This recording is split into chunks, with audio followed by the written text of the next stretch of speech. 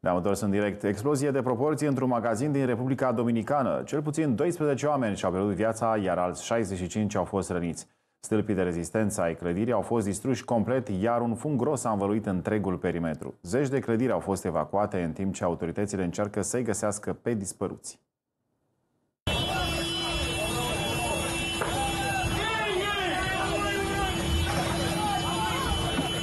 Explozia a avut loc în provincia San Cristobal, aflată în apropierea capitalei țării. Imaginile surprinse de la fața locului par a fi desprinse dintr-o scenă de război. Zeci de mașini ce se aflau în apropierea exploziei au fost complet carbonizate, în timp ce localnicii încearcă, alături de autorități, să-i găsească pe cei prinși sub dărâmături. Oficialii din Republica Dominicană au anunțat că explozia a fost declanșată de un incendiu care s-a extins de la o brutărie la un magazin de feronerie și la un alt magazin de mobilă ce se afla în apropiere. Sute de oameni se aflau în centrul comercial în momentul în care întreaga structură a explodat. Cel puțin 12 oameni și-au pierdut viața, iar alți 65 au fost răniți și transportați la spital. Misiunea salvatorilor este contra cronometru, deoarece alți 55 de oameni sunt dați dispăruți, iar fiecare secundă este vitală pentru supraviețuirea lor. San Cristobal este un important centru comercial al țării. Peste 700 de mii de oameni locuiesc în această provincie, care se află la mai puțin de 30 de kilometri de capitala Santo Domingo.